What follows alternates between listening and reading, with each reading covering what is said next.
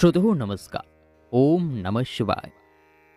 पवित्र श्रावण महिना चालू आहे आणि श्रावण महिना म्हणजे भगवान शिवशंकरांच्या आराधनेचा महिमा. आज आपण भगवान शिवशंकराला अर्पण करावायच्या नैवेद्याचा महिमा आणि तो नैवेद्य कसा असायला हवा ही उपयुक्त आणि खूपच महत्त्वपूर्ण माहिती जाणून घेणार आहोत. ही माहिती तुम्हाला सहसा कुठेही न मिळणारी आहे. त्यामुळे हा व्हिडिओ शेवटपर्यंत पाहायला अजिबात विसरू नका. श्रोतहो शिवनैवेद्य तयार करताना त्याचे महत्त्व जाणून अंतर्बाह्य पावित्र्यता जपायला हवी. आणि मनाची शुद्धी याला सुद्धा यामध्ये फार महत्त्व आहे. मनामध्ये पूज्य भावना धरून शिवनामाचा उच्चार करीत शरीराच्या संपूर्ण क्रिया पदार्थ निर्माण करतेवेळी शरीराच्या सुचित्वाने कराव्या. जो भगवान शिवशंकरांचा भक्त आहे अंतर्बाह्य पवित्र आहे निर्मळ आहे. उत्तम व्रताचे पालन करणारा आणि दृढ निश्चयाने युक्त आहे. त्याने भगवान शिवशंकरांचा नैवेद्य अग्राह्य आहे. तो ग्रहण करू शकत नाही हा विचार मनातून काढून टाकावा. त्यांनी शिवनैवेद्य अवश्य भक्षण करावा. शिवनैवेद्याचं महात्म्य काय आहे हेच आता तुम्हाला सांगत आहोत.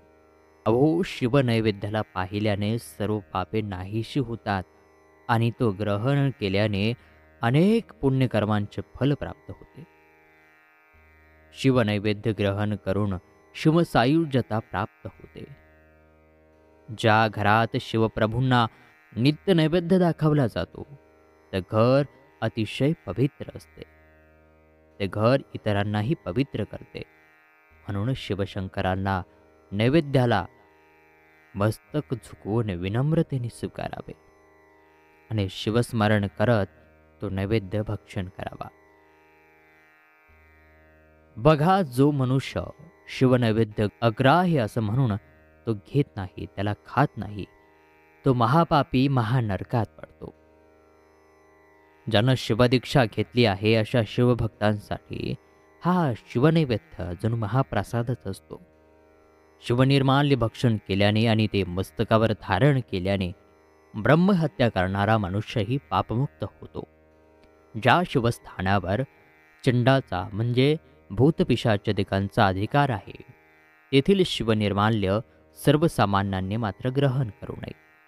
परंतु जेथे चंडांचा अधिकार नाही तेथील शिवनिर्माल्य अवश्य ग्रहण करावे. आता आपण म्हणाल की कोणत्या लिंगावरती चंडाचा अधिकार असतो आणि कोणत्या लिंगावरती नसतो? तर पहा बाणलिंग लोहनिर्मित लिंग म्हणजे अर्थात जे सुवर्ण इत्यादी धातूंनी धातुमय लिंग असते त्याचबरोबर सिद्धलिंग. अर्थात सिद्धांनी स्थापन केलेले किंवा ज्याच्या आराधनेने कोणाला तरी सिद्धी प्राप्त झालेली असते असे लिंग. त्याचबरोबर स्वयंभूलिंग या लिंगांमध्ये चंडांचा अधिकार नसतो. तेथील शिवनिर्माल्य आपण प्राशन कराय काहीही हरकत नाही. बघा जो मनुष्य शिवलिंगाला विधीपूर्वक स्नान घालतो आणि त्या स्नानाच्या जलाने तीन वेळा आचमन करतो. त्याची कायिक वाचिक आणि मानसिक अशी त्रिविध पापे शीघ्र नष्ट होतात.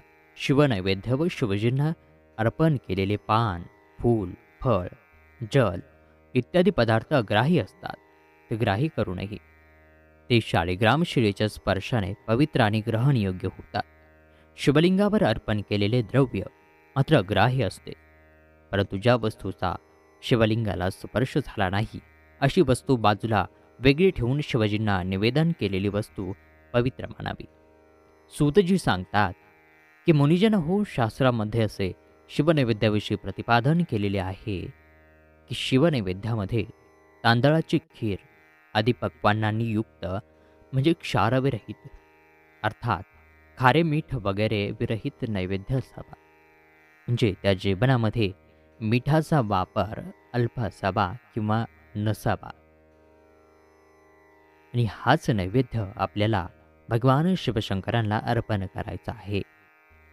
तर श्रोते हो आशा आहे नैवेद्याचं हे महात्म्य आणि नैवेद्य कसं असावा ही सविस्तर माहिती तुम्हाला आवडली असेल अशाच नवनवीन माहितीपूर्ण व्हिडिओसाठी चॅनलला सबस्क्राईब करायला अजिबात विसरू नका.